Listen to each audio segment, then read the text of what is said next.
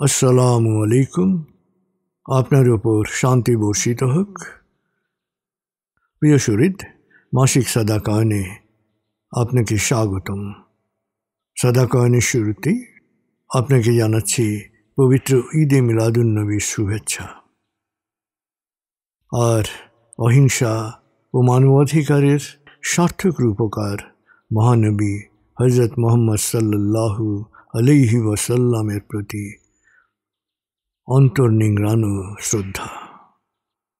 তিনি পুরো সৃষ্টির জন্যেই ছিলেন করুণাস্বরূপ। জাতি, ধর্ম, ভাষা, বর্ণ, লিঙ্গ নির্বিশেষে তিনি মানুষের অধিকারকে দিয়েছিলেন সুসংহত রূপ। তিনি শুধু অধিকারের কথাই বলেননি, নিজের জীবনে তা বাস্তবায়িত করেছিলেন।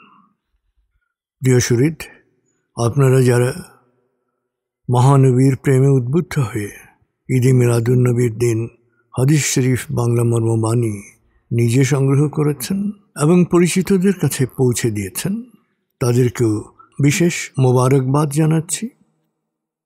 আপনারা তার পবিত্র বাণী নিজে আত্মস্থ করা ও অন্যের কাছে পৌঁছে দেওয়ার মধ্য দিয়ে নবী প্রেমের আন্তরিক প্রতিফলন ঘটিয়েছেন। প্রিয় শরীর, ঈদে মিলাদুন্নবীর এই মাসে নবী প্রেমের আরও উজ্জ্বল প্রকাশ করতে পারে। সাধারণ মানুষ, বিশেষত তরুণ সমাজকে গেমের নামে অনলাইন জুয়ার সর্বনাশা আসক্তি সম্পর্কে সচেতন করে তোলার মাধ্যমে। গেমের নামে অনলাইন জুয়া যে কীভাবে একটি মানুষ ও একটি পরিবারকে ধ্বংস করতে পারে? ছেচল্লিশ বছর বয়স্ক লিটন তার জ্বলন্ত উদাহরণ। রকিবউদ্দিন আহমদ ওরফে Liton, Bangladesh telecommunication company limited, BTCL এর জুনিয়র অ্যাসিস্ট্যান্ট ম্যানেজার ছিলেন। সহকর্মী সহ বিভিন্ন ব্যক্তির কাছ থেকে তিনি এক কোটি পনেরো লাখ টাকা সুদের উপর ঋণ করেন। সব টাকা তিনি নষ্ট করেন। গেমের নামে অনলাইন জুয়া খেলে। পাওনাদারেরা টাকার জন্য তাকে চাপ দিতে শুরু করে। এ নিয়ে পারিবারিক ঝগড়াঝাটি লেগে যায়। তিনি একসময় পাওনাদারদের ভয়ে গা ঢাকা দেন। কয়েকদিন পর বাসায় ফেরেন। টাকা দিতে না পারলে তার বিপদ হবে এই চিন্তা করিয়ে সবাইকে খুন করে নিজে আত্মহত্যা করার সিদ্ধান্ত নেন। পূর্ব পরিকল্পনা অনুযায়ী সকালে স্ত্রী বিছানায় শোয়া থাকা অবস্থায় লিটন একটি হাতুড়ি দিয়ে স্ত্রীর মাথায় বাড়ি মারেন। চিৎকার করে উঠলে তাকে আবারও বাড়ি মারেন। এরপর গলা টিপে ধরেন, এক সময় স্ত্রী মারা যান। স্ত্রীর মৃত্যু নিশ্চিত হওয়ার পর তিনি চলে যান ড্রয়িং রুমে। সেখানে গিয়ে দেখেন তিন বছরের মেয়ে লাইবা টিভি দেখছে। গলায় রশি পেঁচিয়ে শিশুকন্যাকে খুন করেন। মেয়েকে যে রশি পেঁচিয়ে খুন করেন, ওই রশিটি সঙ্গে নিয়ে ছেলের ঘরে ঢোকেন। বাবা ঘরে ঢুকতেই ছেলে জেগে যায়, ধস্তাধস্তি শুরু করে। এক পর্যায়ে ছেলে খাট থেকে নিচে পড়ে যায়। লিটন ছেলের বুকের উপরে চড়ে বসে এবং চাপ দিয়ে ধরে। তখন ছেলে বলতে থাকে, বাবা, আমাকে ফাঁসি দিচ্ছ কেন? আমার কি অপরাধ? বারো বছরের ফারহান বাবার পা জড়িয়ে ধরে বলে, বাবা, আমাকে মেরো না। কিন্তু ফারহান রাহাই পায়নি। লিটন ছেলেকে বলে তোমার মা, বোন চলে গেছে, সবাই এই পৃথিবী ছেড়ে চলে যাবে বলে ছেলেকেও মেরে ফেলে। ঘটনাটি তিন বছর আগের। আসলে অনলাইন জুয়া কীভাবে একজন মানুষকে প্রথমে আসক্ত, ঋণগ্রস্ত, নিঃস্ব, তারপর হিতাহিত গানশূন্য, নরপশুতে রূপান্তরিত করে, তারই জ্বলন্ত উদাহরণ রকিবউদ্দিন লিটন। প্রিয় শরীর, আর এই তিন বছরে বাংলাদেশে জুয়ার বিস্তার আরও বেড়েছে।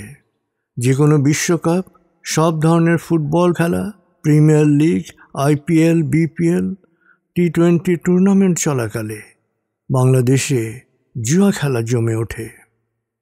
জুয়া শহর থেকে ছড়িয়ে গেছে মফস্বল শহরে, এমনকি প্রত্যন্ত গ্রামেও। আর এখন ঘরে বসেই এসব জুয়ার অ্যাপ বা ওয়েবসাইটে অ্যাকাউন্ট খোলা যায়। জুয়ারিদের বিশেষ টার্গেট এখন হচ্ছে কিশোর, তরুণ ও স্বল্প আয়ের মানুষরা। অনলাইনে যে জুয়া খেলা যায়, অধিকাংশ অভিভাবকই এসব বিষয়ে সচেতন নন। ফলে তার আদরের সন্তান স্মার্টফোনে পড়াশোনা করছে নাকি জুয়া খেলছে, তাও টের পান না। প্রিয় শরীর শুরু হয় কৌতূহল কিংবা প্রলোভনে। আর সোশ্যাল মিডিয়া এখন অনলাইন জুয়ার ফাঁদ। ফেসবুক বা ইউটিউবে শর্টকাট উপায়ে কোটিপতি হওয়ার নজর করা বিজ্ঞাপন সবসময় চলছে। কীভাবে মাত্র এক হাজার টাকা থেকে কয়েক লাখ টাকা আয় করা যায়? বিলাসী বাড়ি, গাড়ি, আইফোন সবই যে দর্শকের হাতের নাগালে। এই ধারণা তারা সবসময় দিতে চায়। শুধু বলে যে এসব কিছু পেতে হলে করতে হবে অনলাইন ট্রেডিং কিংবা খেলতে হবে জুয়া। জাস্ট উইন্স নামে একটি পেজ বিজ্ঞাপন দিয়েছে বাংলাদেশের প্রথম আইনি ক্যাসিনো। দুশো টাকা জমা করলেই সাড়ে একত্রিশ হাজার টাকা পর্যন্ত বোনাস পাওয়া যাবে। নতুন এই অফারটি বিশেষভাবে বাংলাদেশের জন্যে। প্রতিদিন একশো জনের বেশি বিজয়ী। অনেকে কৌতূহলে এ খেলা শুরু করলেও পরে নেশাগ্রস্ত হয়ে যায়। শুরুতে কিছু লাভ হয়, পরে খোয়ানো যায় সব কিছু পাবনার এক এইচএসসি পরীক্ষার্থী জানায়, প্রথমে ছত্রিশ টাকা বিনিয়োগ করে সে ষোলো হাজার টাকা পায়। এরপর নেশায় পড়ে মোটরসাইকেল বিক্রি করে দেয়। পরীক্ষার সময়ও খেলা ছাড়তে পারেনি। আইএক্স বেট এ প্রতিদিন জুয়া খেলেন বেসরকারি চাকরিজীবী জাহিদুল ইসলাম। তিনি বলেন, কৌতূহলবশত দু বছর আগে আইএক্স বেটে অ্যাকাউন্ট খুলি, পরে বিকাশে টাকা জমা করে সরাসরি যে খেলা হয়, সেগুলোতে বাজি ধরতে শুরু করি। খেলতে খেলতে একবার বিশ হাজারের মতো লাভ হয়। পরে তা দিয়ে খেলতে গিয়ে সব টাকা চলে যায়।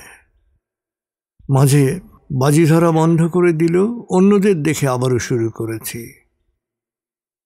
নিয়মিত অনলাইনে জুয়া খেলেন, এমন একজন বলেন, ওয়ান এক্স বেটে জুয়া খেলতাম, পাঁচ থেকে দশ হাজার টাকার মধ্যে খেলা শুরু করি।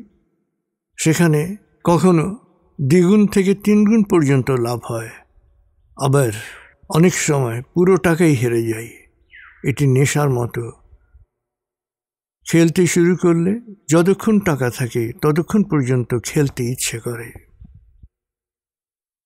আসলে শিক্ষার্থীদের পাশাপাশি নিম্নবিত্ত দরিদ্র শ্রেণীকে ফোকটে প্রচুর অর্থ উপার্জনের প্রলোভন দেখাচ্ছে জুয়া নিয়ন্ত্রণকারী গোষ্ঠীগুলো। বাড়তে থাকা বেকারত্ব, নিত্য অভাব ইত্যাদি বেটিং অ্যাপের বড় মূলধন। কিন্তু এসব জুয়ায় যেতে বড়জোর পাঁচ শতাংশ মানুষ, বাকি পঁচানব্বই শতাংশ অংশগ্রহণকারী আশায় আশায় বেড ধরে এবং হাঁটতে হাঁটতে সর্বশান্ত হয়। এসব জুয়ার ফাঁদ এমনভাবে সাজানো যে জুয়ারি দু একবার জিতবে, কিন্তু এতে আসক্ত হয়ে খেলা চালিয়ে যাওয়া মানে সর্বস্ব খাওয়ানো জুয়ার যা নিয়ম। আসলে শতবর্ষ আগে তিন তাসের যে জুয়া, আর অনলাইন জুয়ার মধ্যে মূলত কোনো তফাত নাই। ঢাকার কর্মরত একজন বেসরকারি চাকরিজীবী মাসিক বেতন থেকে টাকা সরিয়ে তিন বছর ধরে একটি ব্যাংকে জমিয়েছিলেন চার লাখ টাকা। গত জানুয়ারিতে পুরো টাকা হাতে পেলেও অনলাইন বেটিং সাইটে আইপিএল খেলায় লগ্নি করে এক রাতেই সব খুইয়েছেন। দেশে বিশ লাখ মানুষ অনলাইন জুয়ার সাইট ও অ্যাপে নিবন্ধিত। তাদের মধ্যে পাঁচ লাখ মানুষ নিয়মিত জুয়া খেলে। তারা মোবাইল ব্যাংকিং সার্ভিসের মাধ্যমে মাসে একশো পঞ্চাশ কোটি টাকার বেশি অবৈধভাবে লেনদেন করে। এভাবে বছরে লেনদেন হয় প্রায় দু হাজার কোটি টাকা। পুরো ব্যাংকিং প্রক্রিয়াকে পাশ কাটিয়ে ডলারের মাধ্যমে জুয়ার যাবতীয় লেনদেন করা হয়। এই টাকা ভার্চুয়াল মুদ্রায় রূপান্তরিত করে এবং হুন্ডির মাধ্যমে বিদেশি পাচার করা হয়। দেশে জুয়ারিদের নিজস্ব কোনো অ্যাপ বা সাইট নেই, সব বিদেশ থেকেই নিয়ন্ত্রিত হয়। দেশে তাদের কিছু দালাল কাজ করে। জুয়ার একশো ছিয়াশিটি অ্যাপ ও লিঙ্কের নিয়ন্ত্রণ রাশিয়া, সাইপ্রাস, ইন্দোনেশিয়া, আফ্রিকা ও ভারতের জুয়ারিদের কাছে। অনলাইন জুয়ায় সবচেয়ে বেশি সর্বশান্ত হচ্ছে মফস্বলের মানুষ। সহজে বেশি টাকা উপার্জনের লোভে পড়ে শিক্ষার্থী, বেকার যুবক থেকে শুরু করে সব বয়সের মানুষ এতে জড়িয়ে পড়ছে। ঋণ নিয়ে কিংবা জমি বন্ধক রেখে আসক্তির মতো ঘটনাও ঘটছে। খেলায় আসক্তরা জানিয়েছেন, এসব খেলা স্বাভাবিক গেমের মতো হওয়ায় আশেপাশের মানুষ বুঝতে পারে না। গ্রামের বাজারের এজেন্টরা মোবাইল ব্যাংকিংয়ের মাধ্যমে টাকা জমা কিংবা অ্যাকাউন্ট খুলে দেয়। প্রতি হাজারে তারা অন্তত চল্লিশ টাকা কমিশন পায়। যাদের স্মার্টফোন নেই, তারা ঘন্টায় দুশো তিনশো টাকায় ভাড়া নিতে পারে। সবচেয়ে দুঃখজনক ব্যাপার হচ্ছে, প্লেয়ার ফিল্ম স্টারদের বেটিং অ্যাপে বিজ্ঞাপন। তারকারা বিজ্ঞাপনের পারিশ্রমিক পান আর ভক্তরা অর্থ খোয়াতে থাকেন। এ ব্যাপারে তথাকথিত আইকনদের ব্যক্তিগত কোনো দায়বদ্ধতা নেই। প্রিয় সুরিত সন্তান, মোবাইল ফোন নিয়ে কি করছে? অনেক অনেক সতর্ক থাকার প্রয়োজন আপনার। এক অভিভাবক জানান, যে আমার ছেলে স্থানীয় একটি উচ্চ বিদ্যালয়ে নবম শ্রেণীতে লেখাপড়া করে। অ্যান্ড্রয়েড মোবাইল কেনার বায়না ধরে স্কুলে যাওয়াই বন্ধ করে দিয়েছিল। পরে বাধ্য হয়ে মোবাইল কিনে দিয়ে বিপদে পড়ে গেছি। এখন নানা বাহানায় টাকা নেয়। পরে জানতে পারি মোবাইল দিয়ে নাকি সে জুয়া খেলে। কিন্তু অনলাইন জুয়া খেলার কারণে তেমন পড়াশোনা করছে না। আমার ছেলের ভবিষ্যৎ এই অনলাইন জুয়া নষ্ট করে দিচ্ছে। আসলে এই অনলাইন জুয়া এবং এই গেমের প্রতিযোগিতা, তরুণ কিশোররা ভয়াবহ মাত্রায় জড়িয়ে পড়ছে। বিভিন্ন শহরের বিভিন্ন অলিগলিতে এখন জটলা করে প্রকাশ্যে জুয়া খেলতে দেখা যায় এখনকার কিশোর যুবকদের। এক অভিভাবক বলেন, সারাদিন মোবাইল নিয়ে জটলা করতে দেখি পাড়ার ছেলেদের। প্রথম প্রথম কিছু বুঝতে পারিনি পরে শুনেছি ওরা থাই জুয়া খেলছে। তবে মহল্লার মানুষ ওদের কিছু বলতে ভয় পায়, কারণ ওরা সংগঠিত। কেউ কিছু বললেই সংগঠিত হয়ে তাকে হেনাস্থা করতে ছাড়ে না। চোখের সামনে একটি প্রজন্ম জুয়ায় ধ্বংস হয়ে যাচ্ছে। তাদের কারণে পরিবারও নিঃস্ব হচ্ছে, অথচ আমরা কিছু করতে পারছি না। এই তরুণ জুয়ারিদের মাদকে আসক্ত করছে একটি চক্র। এবং এরা হাতিয়ে নিচ্ছে লাখ লাখ টাকা। সেই সাথে ভার্চুয়াল এই জুয়াকে কেন্দ্র করে বিভিন্ন পাড়া মহল্লায় গড়ে উঠছে একাধিক কিশোর গ্যাং। তারা জুয়ার টাকা জোগাড় করতে জড়িয়ে পড়ছে মাদক বেচা কেনা সহ নানা অপরাধমূলক কাজের সঙ্গে। অনলাইন প্ল্যাটফর্মকে পুঁজি করে। জুয়া সমাজে অস্থিরতা ও বহুমাত্রিক অপরাধের জন্ম দিচ্ছে। গত মার্চ মাসে রাজধানীর মধ্য বাড্ডায় ব্যক্তিগত গাড়ি চালকের হাতে খুন হন সেভেন ড্রিঙ্কস সিমেন্ট কোম্পানির একজন ব্যবস্থাপক। অনলাইন জুয়ায় নিঃস্ব হয়ে টাকা পাওয়ার উদ্দেশ্যে তাকে খুন করে গাড়ি চালক। আবার অনলাইন জুয়ায় বাধা দেয় গত বছর সিরাজগঞ্জের শাহজাদপুরে স্ত্রীকে হত্যা করে স্বামী। আসলে রবিউল মাসে জুয়া ও মাদক সম্পর্কে কোরআনের বক্তব্যকে আমরা সুস্পষ্টভাবে তুলে ধরতে পারি যে আসলে জুয়া, মাদক অত্যন্ত নাপাক, ঘৃণ্য বস্তু এবং শয়তানের হাতিয়ার। শয়তান তো মাদক ও জুয়া দ্বারা তোমাদের মধ্যে শত্রুতা ও বিদ্বেষ সৃষ্টি এবং আল্লাহর স্মরণ ও নামাজ থেকে বিরত রাখতে চায়। কোরআনে এরপরে প্রশ্ন করা হয়েছে এরপরও কি তোমরা এসব ঘৃণ্য বস্তু থেকে নিবৃত্ত হবে না? আর নবীজি সাল্লাহ সাল্লাম পরিষ্কার বলেছেন, যে ব্যক্তি কোনো ধরনের জুয়ায় অংশ নিল সে আল্লাহ ও তার রসুলকে অমান্য করল। প্রিয় শরীর, গেম বা অনলাইন জুয়া বর্তমানে সামাজিক মহামারীর রূপ নিয়েছে। ক্যাসিনো ও মাদকের চেয়েও ভয়ঙ্কর এসব অনলাইন জুয়ার আসর। আগামী প্রজন্মকে শারীরিক ও মানসিকভাবে পঙ্গু হওয়া থেকে রক্ষা করার জন্যে মূলত সচেতন মানুষকেই এগিয়ে আসতে হবে। এবং পারিবারিক ও সামাজিক সচেতনতার মাধ্যমে এই অনলাইন জুয়া বন্ধ করা সম্ভব।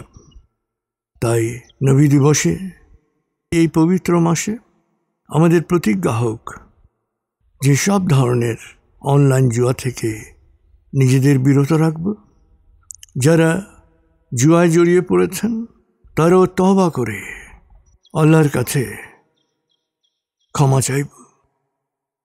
এবং সব ধরনের জুয়া বর্জনে চারপাশের মানুষকে সচেতন করার চেষ্টা করব এবং এই স্রষ্টা সচেতনতা বাড়ানোর জন্যে চল্লিশটি হাদিসের জ্ঞানকে আমরা আত্মস্থ করব